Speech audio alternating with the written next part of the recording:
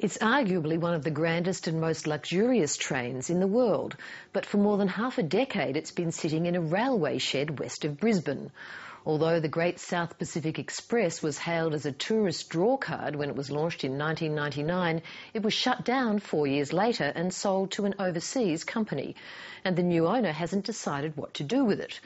A former head of Queensland Rail sees this as an opportunity lost at a time when Australia's domestic tourism industry urgently needs a boost.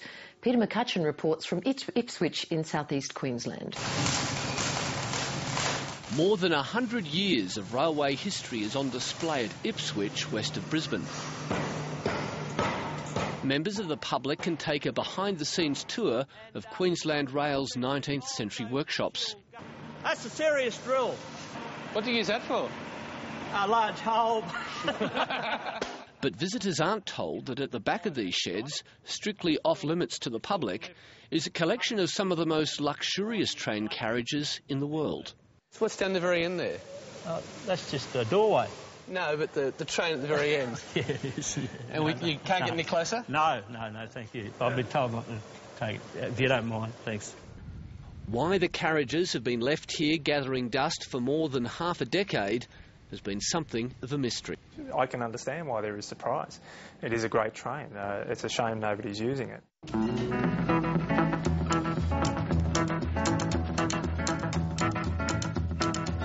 Train I ride, 16 coaches long.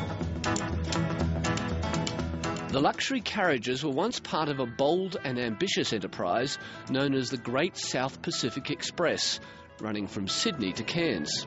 It's fairly obvious what they were trying to do, and that was boost the tourism industry, uh, not only in Queensland because the trip started down in New South Wales, uh, but also in uh, making sure that there was a rail product that was attractive to the world.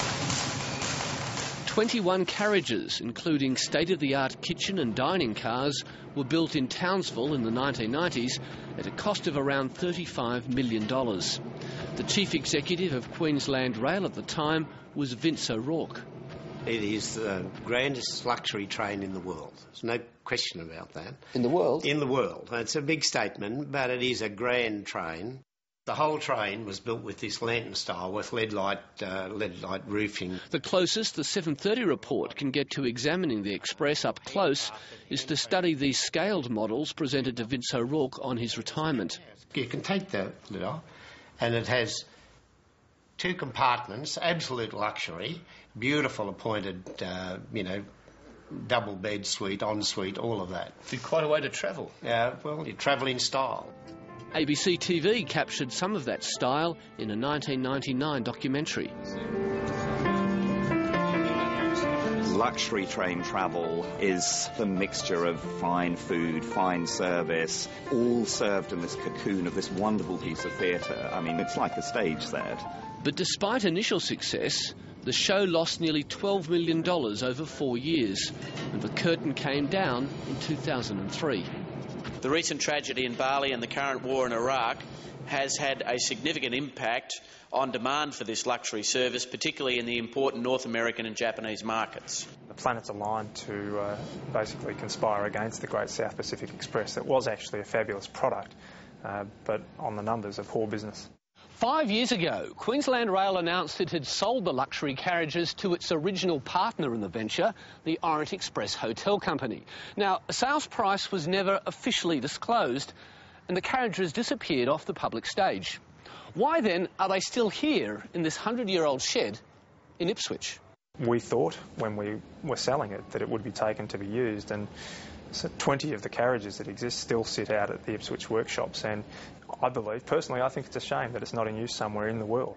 Paul Scurrah is the current chief executive of Queensland Rail.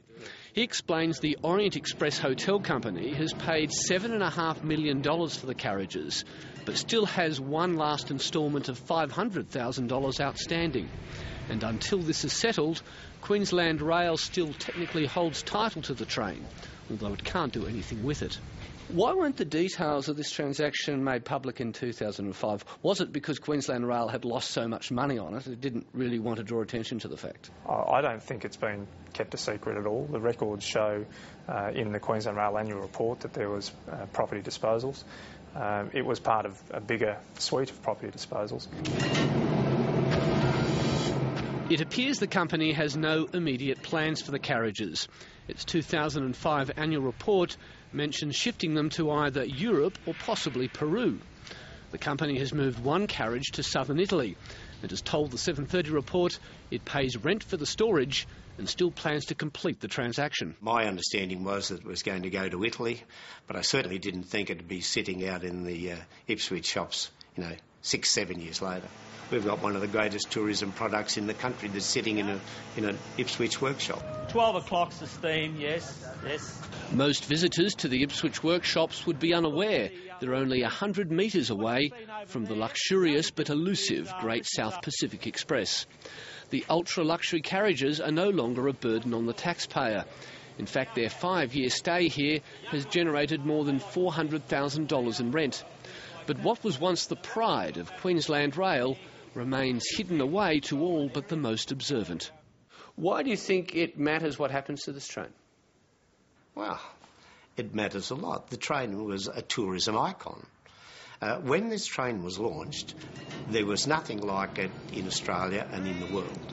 It was a beautiful train, uh, well patronised in those early years, and it's just a shame that it hasn't had a chance to uh, to have another go. Train, train, coming round, round the bend. Peter McCutcheon reporting from Ipswich.